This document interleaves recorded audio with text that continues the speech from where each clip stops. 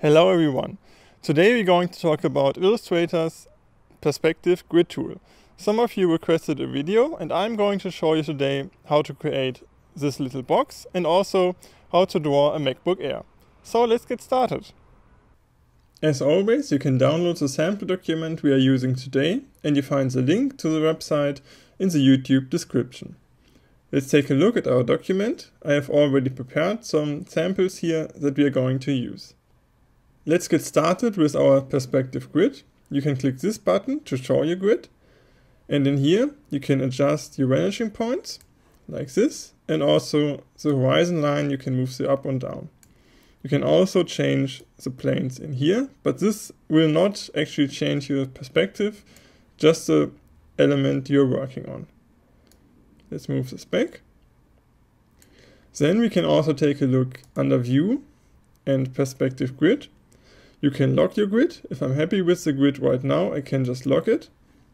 And if we go back to this point, you can also see we have a lot of other things we can set in here as well. For example, we can make this one a three point perspective grid and so on. If you go and define grid, you can make a lot of adjustments. And one important thing, you can also save your grid if you want to use it for other documents. Also keep in mind you can only have one grid activated per document. Unfortunately, the perspective grid is a little bit limited, so vector files you can throw on there without any problems, but if you have a picture or if you have a gradient like in this one here, you have a problem because it doesn't really work. So to do this one, we need to go on object and we're going to choose expand.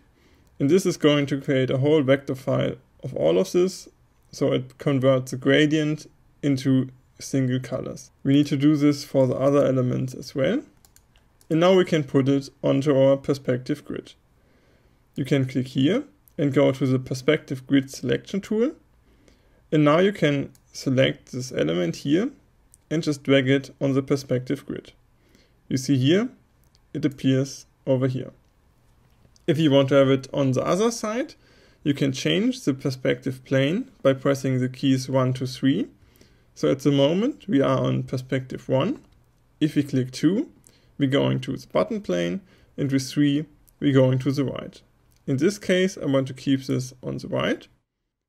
Then I take the next piece, I press key 1 to have it in the right perspective, put it over here, and I take the lid and press key 2 to get this on the bottom.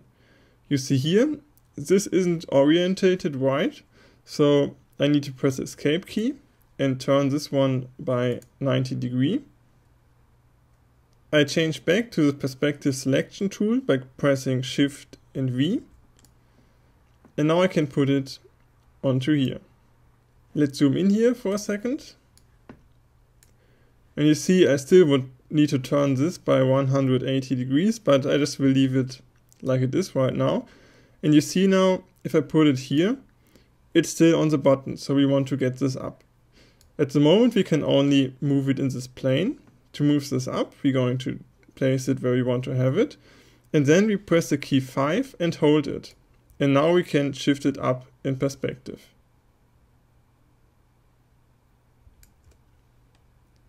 Well, something like this. We would need to adjust this a little bit more, that everything fits nice together. But for now, I'm just going to click on the X to hide the grid and look at our results. And I think this looks quite nice. Let's work on our laptop next. We're going to copy those elements and going to make a new file. So we have a new fresh perspective grid because I want to have another perspective for this element here.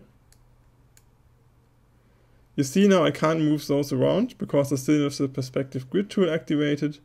So I'm pressing V again and move them out of the way. We change this one here to perspective grid. And we're going to see that we get a nice perspective. I think this should be alright we switch to the perspective selection tool. We're just going to take the upper lid of this. This is just some boxes you can draw with this element here and the rounded angle tool. and just some text. Let's take the perspective selection tool and we're going to move this on the third plane. We also take the button one, press the key 2, and we see again we need to rotate this. So let's do this. I press the shift key to rotate it by 90 degrees. And again I switch to the perspective selection tool and place this in front of the screen. Let's zoom in here and make sure we get them aligned properly. And now I shouldn't use the normal selection tool. If I want to move things around here, I should always use the perspective selection tool to keep the perspective.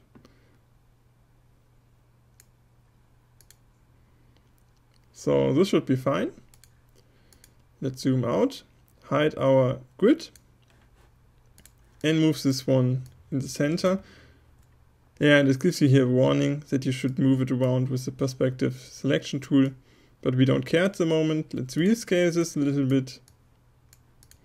And now we only need to add a little bit here to give this the MacBook Air feeling. For this, I'm going to use the pen tool. And I'm just going to create some new lines. we're going to send this to the back. And with the eyedropper tool, I'm just going to take the same color as it is above. Just make some small adjustments. Yeah, this should be fine for now. If you want to add now an USB port and things like this, we cannot do this with the perspective grid tool because we already have moved our laptop, but we just can take the pen tool again, zoom in here, and draw a little box. You might want to decrease the thickness of the line. And there we have our nice laptop. Alright, that's it for this tutorial. Until next time, see you. Bye bye.